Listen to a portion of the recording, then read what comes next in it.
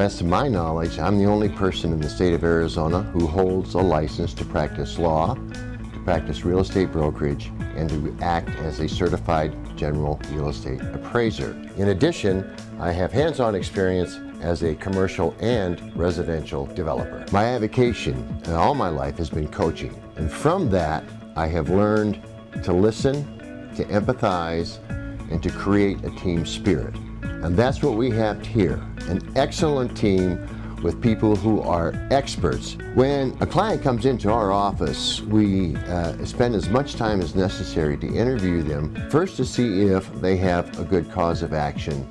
We then begin to build the case. Then we send out the demands, and if they are not immediately met, we're ready to go to court to file whatever is necessary. The best part of this job is doing the right thing by people who deserve it.